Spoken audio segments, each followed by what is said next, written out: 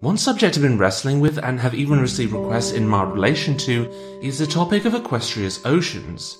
Even in our own world, this realm is often cited as one of the few places where undiscovered species could exist. Thus, you'd think it would be a pretty natural topic for an ECS episode. So why does that episode not exist? Well, I couldn't really find anything to talk about. There are dozens of fascinating aquatic species that we know of, yet there doesn't seem to be any myths or legends or anything even slightly odd.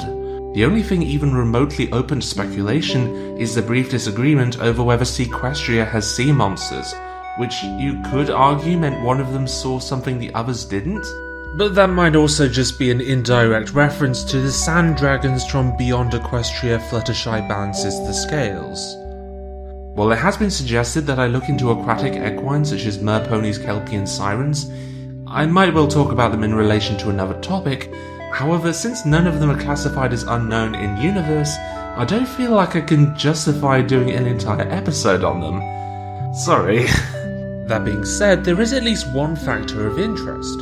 A book appearing in the episode Once Upon a Zeppelin contains depictions of several different locations and phenomena.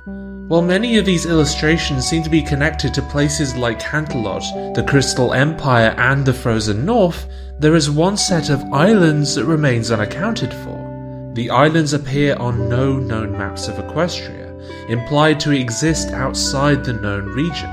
As of now, the only thing we know about these islands is their geography. And that's about as far as I've gotten, at least in regards to Equestria's oceans. The main reason I'm bringing all this up is I am kinda curious to know if there's anything in the outside media that I'm not aware of.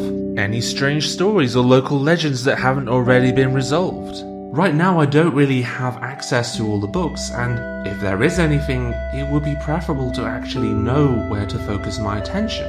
And if there isn't anything, eh, thanks for hearing me out at least. Anyways, best of luck, and thanks for watching.